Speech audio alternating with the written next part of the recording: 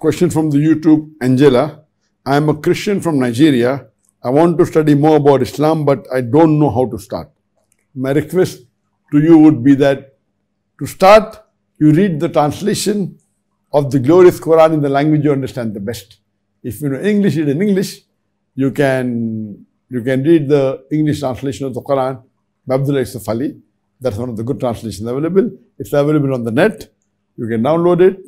And if you go to any Muslim organization close by Nigeria, surely they'll be able to supply a copy also. So first I would request you to read the English translation of the Quran. And then you can read the Seerah of the Prophet.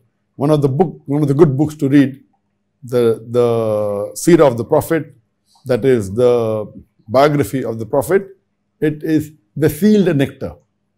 That's the Raheeq al-Makhtum, written by Mubarak Safiur Rahman Mubarakpuri. That's a good book. So first read the translation of the Quran, then you see the Prophet, and then depending upon what you're interested in. There are many books available. I would request you to, uh, subscribe or enroll yourself to the Al platform, which has various, there are two sections, video on demand and a section on courses. There are various courses of the Quran, of the Tafsir, of Hadith, of Dawah, varieties there. There are hundreds of courses and there are thousands of hours of video. So this will be a good source and these authentic uh, speakers here, more than 40 speakers from all over the world.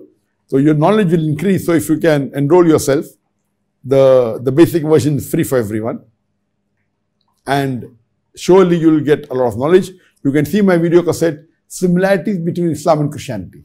The course is also there the video is also there. Similarities between Islam and Christianity. And inshallah that will enlighten you and will get you closer to Allah subhanahu wa ta'ala and Islam. Hope that answers the question.